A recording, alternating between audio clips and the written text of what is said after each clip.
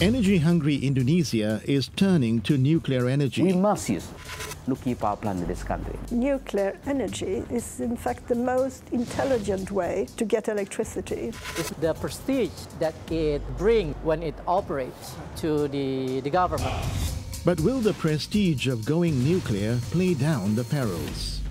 Nuclear is in inherently dangerous, especially in the ring of fire country like Indonesia.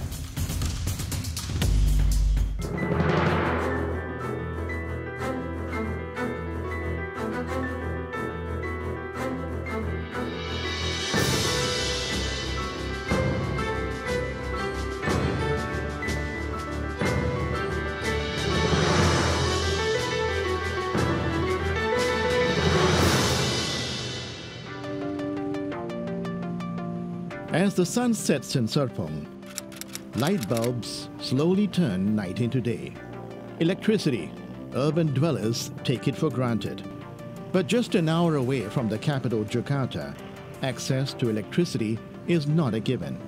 There are around 12.6 million households who currently have no access to public electricity. In uh, our calculation, if we are including such as the solar in this country, we're talking about the geothermal, about the coal, and about the, uh, micro hydro. Uh, there is still, still uh, the lack of uh, electricity. That's why, in our opinions, uh, like or dislike, nuclear must be included for the demand of electricity until 2025.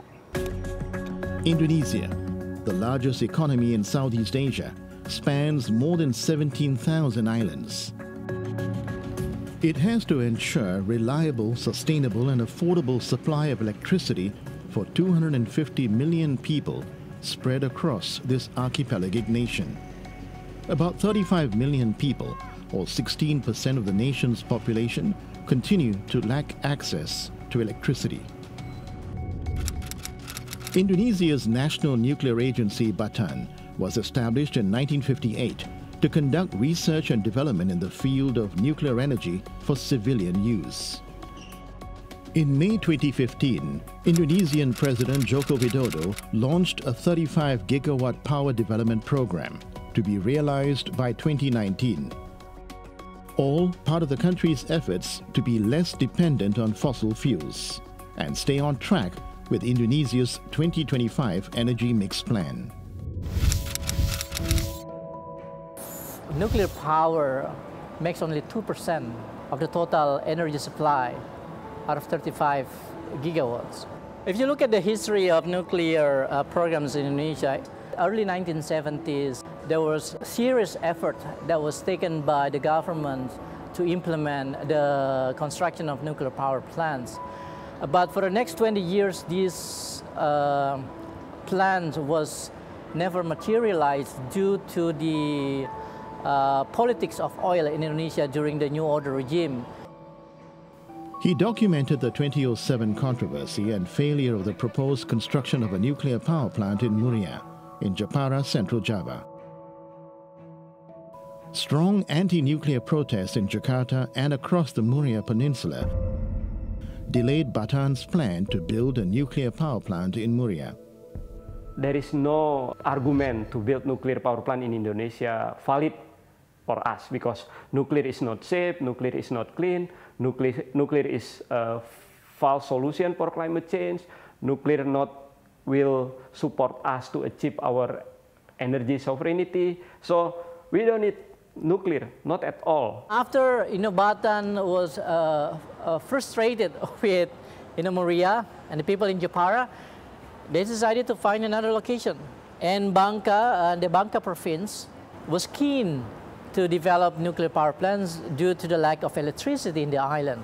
And that you know, resonates with the interests of Batan to have this nuclear power plant built in that location.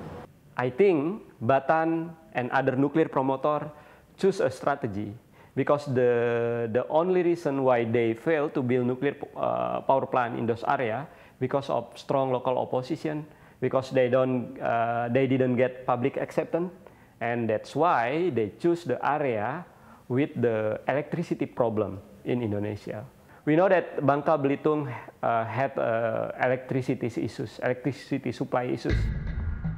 Batan's feasibility studies declared Muntok West Bangka and Permis South Bangka suitable for the construction of a nuclear power plant. To demonstrate their technical readiness, Batan has built and operated three nuclear research reactors to date. So there's a big research reactor we have, this was started in 1987. It is also the fact that because some people don't believe that we are not able to operate to maintain the research reactor, in the fact the application of research reactor is really one of the things is to produce radioisotope production. The radioisotope production can be used not only for the uh, agriculture, not only for health, not only for industry, but other purposes. In this area, we have research reactor, also we have safety laboratory. So we have the waste treatment center, and also we have here the nuclear fuel center here. So I mean, everything is complete. Nuclear power has been included in the national energy scenario, but to turn the nuclear dream into reality requires the coming together of multiple stakeholders. We make regulation about the nuclear application and then we license. So every nuclear application must have a license from Bapeten in Indonesia, I mean. And also not only the apparatus, not only the device, but also the people who operate the device must have a license from Bapeten. The role of Indonesia's nuclear regulatory agency, Bapeten, is to ensure adequate safety, security, and safeguard measures. They are regularly reviewed by the IAEA, the International Atomic Energy Agency. Recently, in August 2015, we had uh, integrated regulatory review service mission by the IAEA. And one of them is uh, uh, our capability, our readiness to, to license a new nuclear power plant.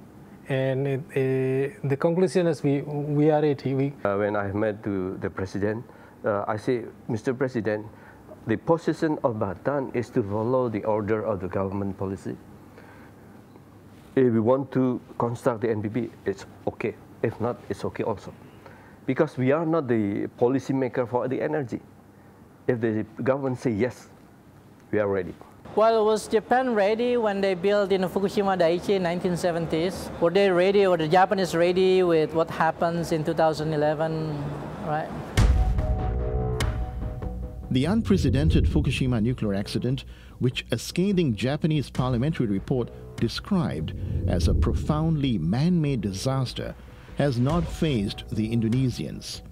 The country remains steadfast. Its course to start constructing its first nuclear power plant in 2020. But is it all worth it?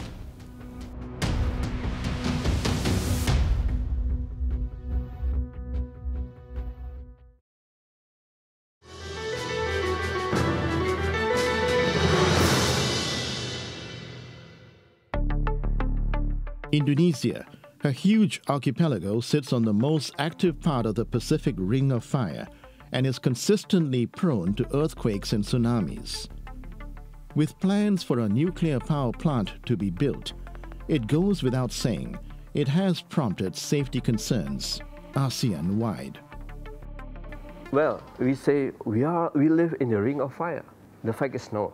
Some of part of Indonesia not in the ring of fire not every part of Indonesia is in, in the ring of fire. Uh, Bangka, Belitung, people have done. I mean, in fact, it, it was done by Batan. Uh, it is uh, a good site for nuclear power plant.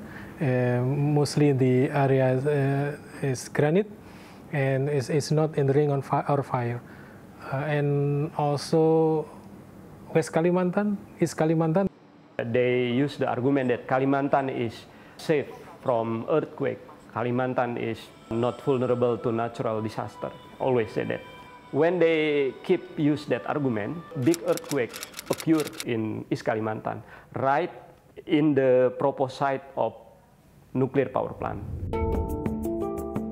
In Indonesia, contrary to what the IAEA prescribes, there is no nuclear energy implementing organization to lead and manage the effort to consider and develop a nuclear power plant program. Indonesia should uh, reconsider pursuing nuclear energy because of the lack of uh, capacity in dealing with the risk.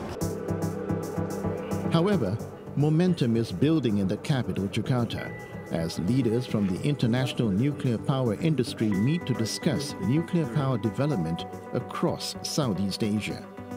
I do think uh, Southeast Asia is ready for nuclear energy and what I also learn is that people are supportive and interested and understand that this is important when it comes to uh, combating climate change.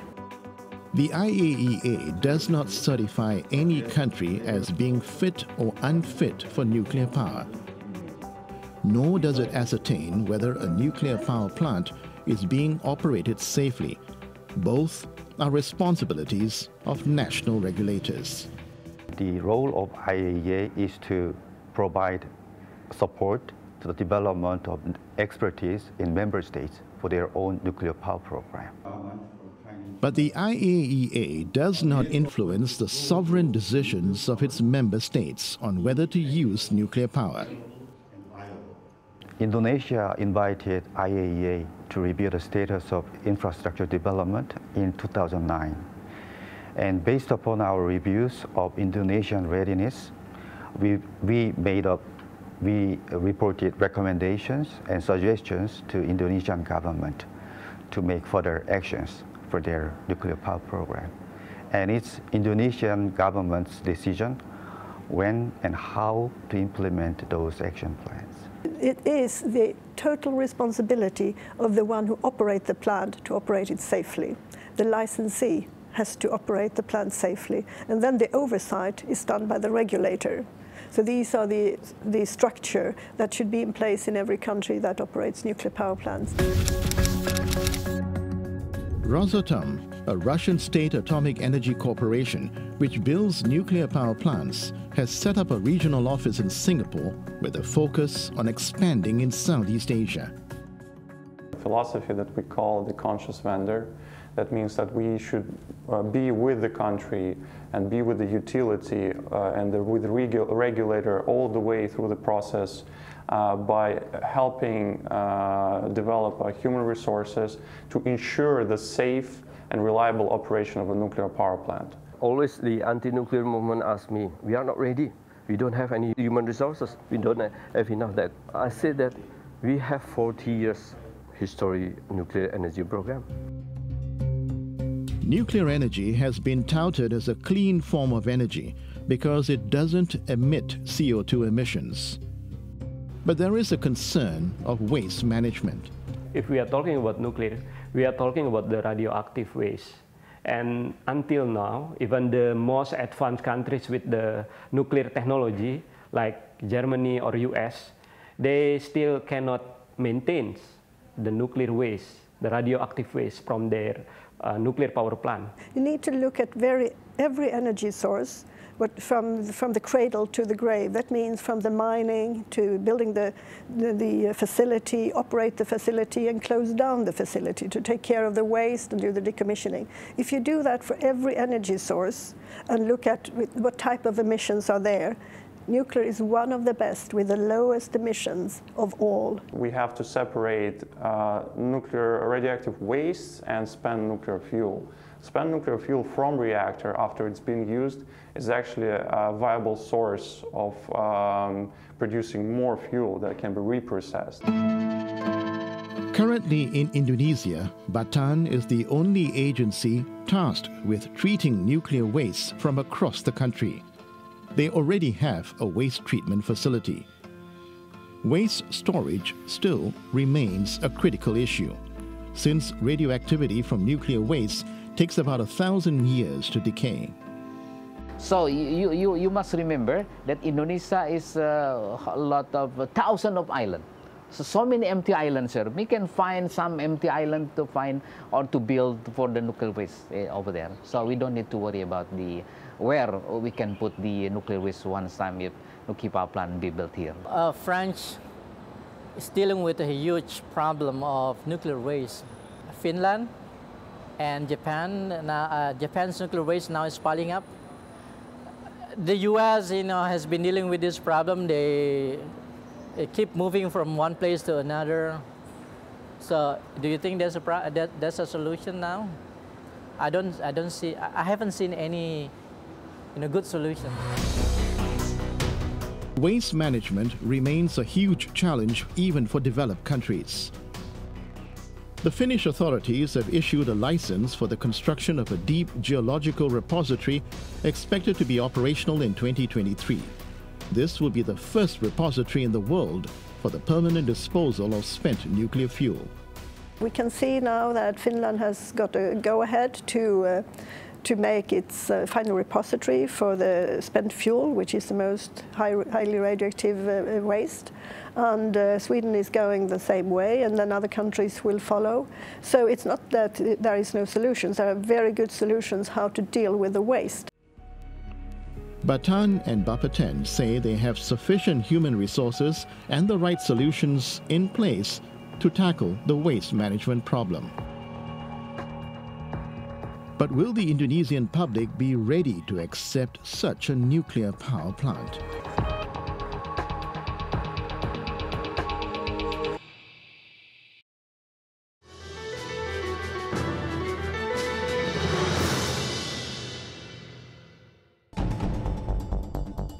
Indonesia is on course to construct its first 10 megawatt experimental power reactor in Serpong.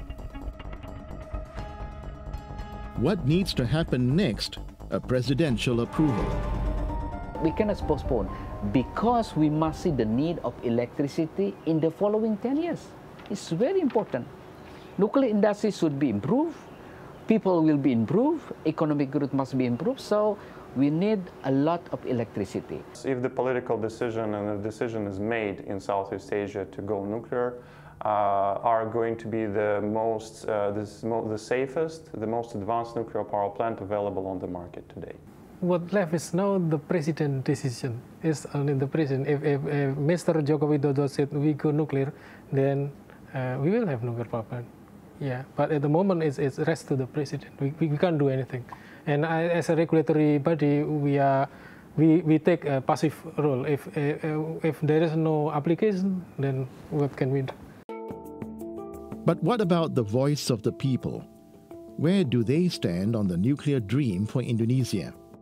The narrow mindset of the bureaucrats and the technocrats who insist that nuclear energy must be implemented in Indonesia. And this narrow mindset uh, does not leave a space for public participation to engage and to give feedback. We don't need to worry about the public acceptance because based on the survey in the last two years, say in the 2014, 2015, so the survey we made for uh, 4,000 responders, it's really is amazing because 2014, something like 72% people agree with Nuki power plant in this country. And in the last survey done in November 2015, 75.3% agreed that the people agree to build nuclear power in this country. And now you get this Batan doing survey about nuclear power. What do you think? What do you think? Do you think it's it's you know it's reliable? You know what what is the methodology they use? What, what are the questions they ask during the survey?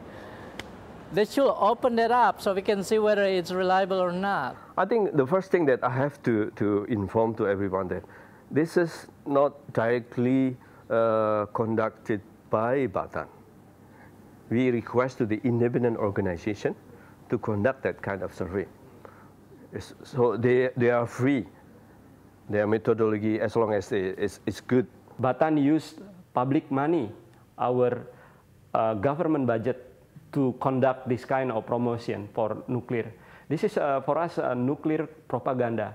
So instead of wasting money to this kind of uh, propaganda, Batan should use uh, government budget, our public money, for research, for uh, research and development. Batan can be a renewable energy agency as well. Nuclear medicine is a branch of medical imaging that uses small doses of radioactive isotopes to diagnose or to treat various diseases which include many types of cancers. The government should educate people first before they put plans to, I don't know, maybe to uh, build a nuclear plant or to, to do a research in nuclear fields, but the community in Indonesia needs more education about what is nuclear, what is a safety nuclear, what is the benefit of using nuclear, so people could understand and open the, their minds to accept the idea of anything connection with the nuclear terms. There is a fun unit of measurements of radioactivity called the banana index. So if you, yeah, because bananas are very rich in potassium, and for particular potassium 40, which is a radioactive isotope. Uh, when you eat a banana, uh, you consume about, I think, 0.1 millisievert of radioactivity. So let's say you go and get a CAT scan, right? Uh, that would be equal to eating about 70,000 bananas in terms of how much radioactivity you get. So if you have a nuclear power plant in operation, normally operating, of course, without any accidents, the legal amount of radioactivity that can be released in, in, any, in any case is about uh, 2,500 bananas. So 70,000 bananas for just going to a doctor, 2,500 bananas for the, uh, for the nuclear power plant. The government should push uh, renewable energy development in Indonesia. We have abundant resources of renewable energy, but it is quite uh, pity that currently we only uh, use uh, around 5% of renewable energy in our energy mix. I think the renewables will have an, its place in the energy mix, but substituting the, the large uh, scale nuclear power plant that provides the base load generating capability with uh, no CO2 emission and no exposure to, let's say, uh, fuel price volatility, uh, substituting that with renewable is, as of today, not possible. Despite the push for wind and solar farms in the ASEAN region, Indonesia, along with Thailand, Vietnam, and Malaysia, are all looking seriously towards nuclear as part of the renewable and new energy mix. I think the first one to build nuclear power plant in ASEAN countries would be Vietnam, uh, due to the fact that there is an, intergovernmental uh, agreement between uh, Vietnam and Russia on construction of nuclear power plants. So. Well, I think it is a very long journey since 1950s, 1960s, and I don't think it's going to end very soon. So they will keep trying to build at least one nuclear power plant. So it's going, yeah, we're going to see it happening. The demand for electricity across Southeast Asia is not going to go anywhere else but up. With population growth and mega cities sprouting, ensuring the poor will have access to electricity, the Energy for All mantra will be every government's challenge, and Indonesia knows this well. But if countries like Indonesia are to wean themselves away from fossil fuels, then nuclear as part of the energy mix, that's what the pro-nuclear voices are saying it will be. Question is, are Indonesians and the rest of Southeast Asia ready to live side by side with nuclear while charging and enjoying all that the nuclear affair promises. Indonesia kan juga dia negara yang belum maju banget. Kalau misalnya punya nuklir pastinya juga bakal kayak suatu bikin negara-negara lain bahwa nggak bakal ngeliat sebelah mata kalau Indonesia tuh punya nuklir gitu. Kebanyakan orang kalau bicara tentang nuklir itu pasti mendekatinya berpikir tentang bom, ledakan, perang, sesuatu yang bad gitu, sesuatu yang kurang baik. Saya tidak setuju karena bisa berbahaya untuk masyarakat sekitar. Energi pembangkit listrik dengan nuklir itu dibutuhkan terutama di daerah-daerah tertinggal ya di pelosok-pelosok sana yang sangat kekurangan pasokan listrik. Tapi yang jelas pembangunannya harus memperhatikan keberlanjutan lingkungan. Gitu.